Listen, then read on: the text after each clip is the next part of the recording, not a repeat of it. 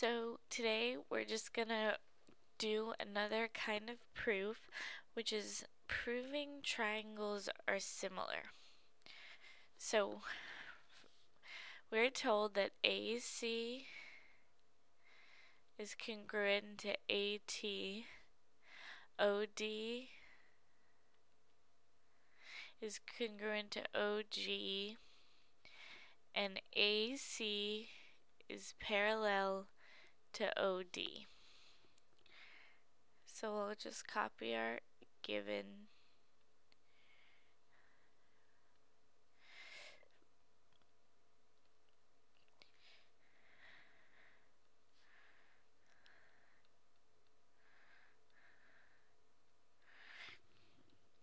Okay, and that's the given.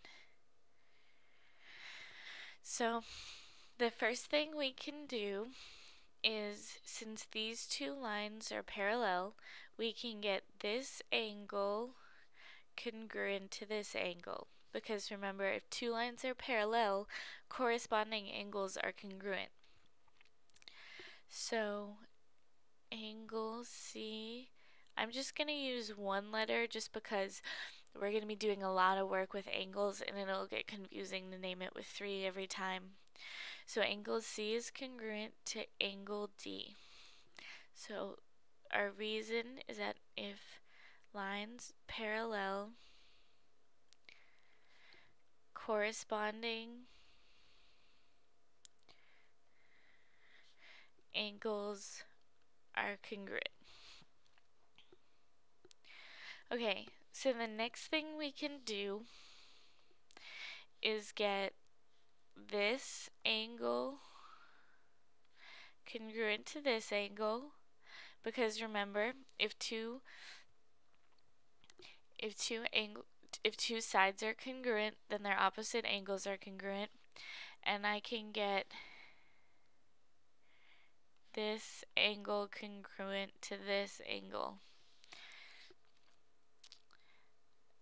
So angle C is congruent to angle D. Oh, no, sorry. Angle C is congruent to angle T. Angle D is congruent to angle G. Oh, that's actually just one step. So if sides, if congruent sides, opposite angles are also congruent. Okay, so now if you look, we have a bunch of equations. And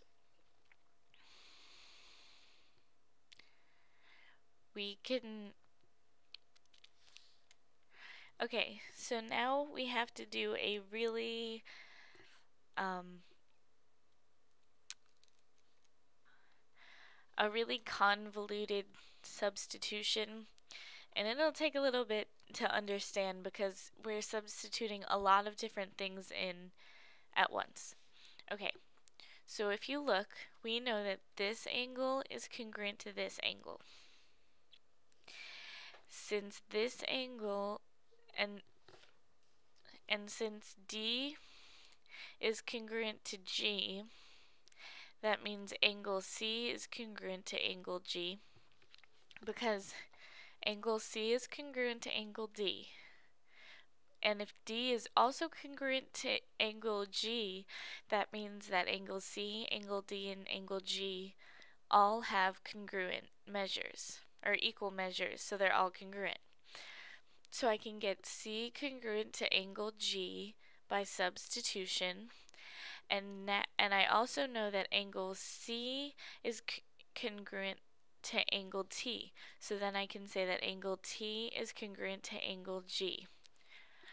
I know it it's really convoluted and doesn't make much sense, but it's completely mathematical, or it's completely legal, I guess, to do. So we're just going to put as our reason substitution. Okay. And that's actually, oh, nope, that's not our last step. Our last step, we were to prove that CAT is similar to DOG. So if you remember, to prove triangles are similar, we only we only need two angles that are congruent. So we have T is congruent to angle G. So this angle is congruent to this angle. And C is congruent to D. So this one is congruent to this one. So we have enough to say, therefore, triangle CAT is similar to triangle DOG by angle angle. And that's our only proof we're going to do today, but make sure you come back um, and we're going to learn how to solve the sides of any triangle.